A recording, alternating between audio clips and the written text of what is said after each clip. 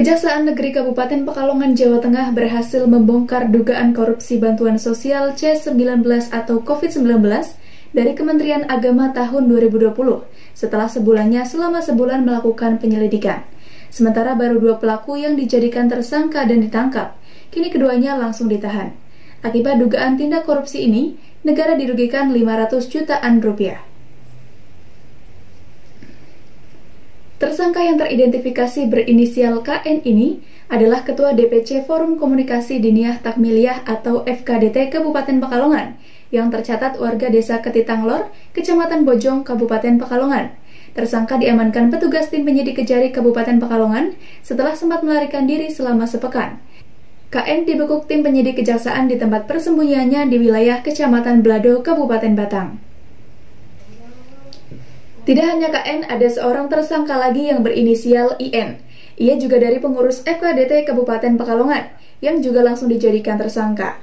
Selain mengamankan tersangka, petugas pada Senin 14 Juni siang juga melakukan penggeledahan di rumah KN yang dijadikan kantor sekretariat FKDT Kabupaten Pekalongan.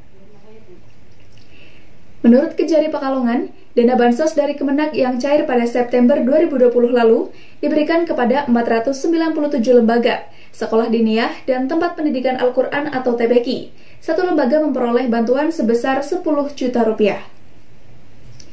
Modus yang digunakan saat pencairan ke masing-masing lembaga tersebut, tersangka meminta uang sebesar 500 ribu rupiah Bahkan tersangka juga mengkondisikan atau mewajibkan kepada semua lembaga yang menerima untuk membeli perlengkapan dan alat penanganan COVID-19 ke CV miliknya dengan harga jauh lebih mahal dari harga pasaran.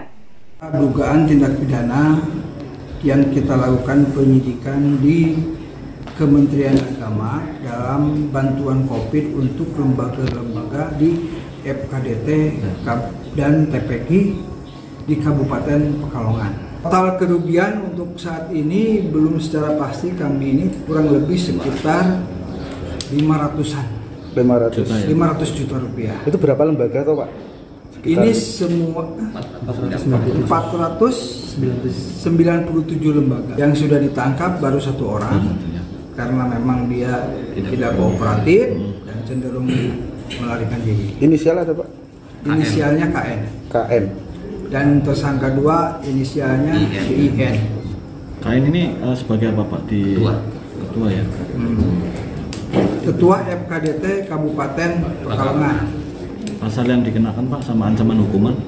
Pasal yang dikenakan untuk saat ini pasal 2 dan pasal 3 Undang-Undang nomor 31 tahun 99. Ancamannya minimal satu tahun untuk pasal 3 dan pasal 2 ancaman minimal 4 tahun. Terima kasih. Sementara itu, petugas yang melakukan penggeledahan di rumah KN mengamankan sejumlah bukti seperti transferan dan pemotongan di buku tabungan, kwitansi-kwitansi, buku-buku yang wajib dibeli, dan beberapa sisa botol berisi cairan desinfektan.